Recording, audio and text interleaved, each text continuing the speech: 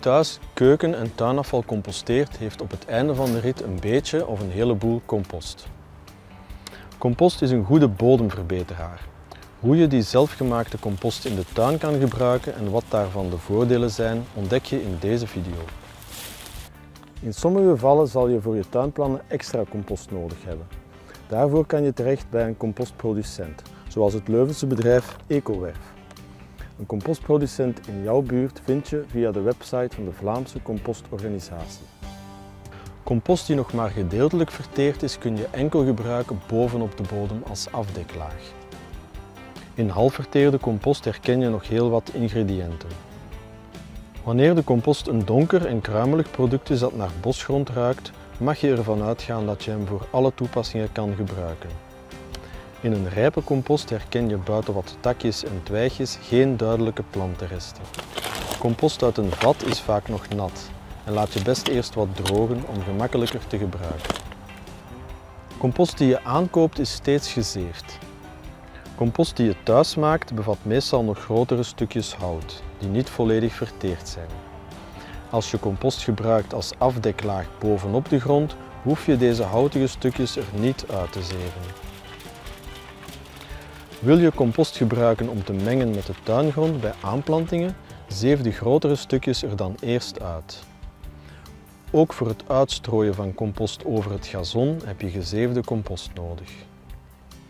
Kleine hoeveelheden zeef je met een kleine zeef boven een kruiwagen. Een plantenkistje kan daarvoor dienen. Wie grote hoeveelheden thuiscompost wil zeven, gebruikt best een staande zeef.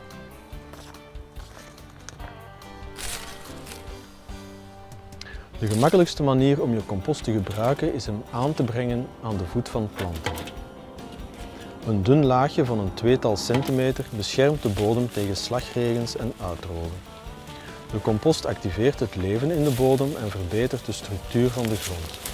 Dat helpt planten om voldoende lucht, water en voedingsstoffen te vinden.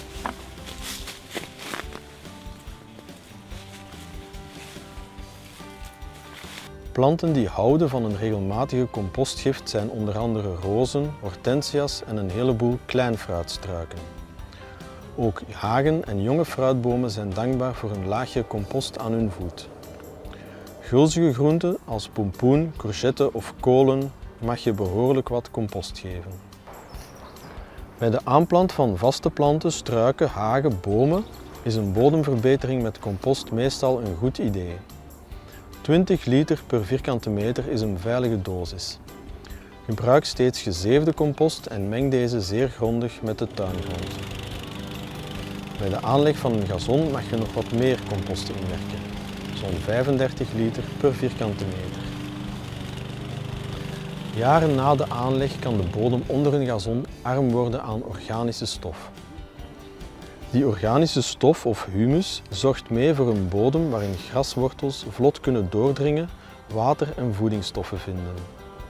Door een compostgift van 5 liter per vierkante meter kan deze voorraad langzaamaan worden aangevuld. Het najaar is een goede periode daarvoor. Maai het gras op 4 cm, strooi de gezeefde compost uit of leg ze in hoopjes en verdeel ze met de achterkant van een hark. Voor optimaal resultaat kun je het gazon eerst op regelmatige afstanden prikken met een spitrik.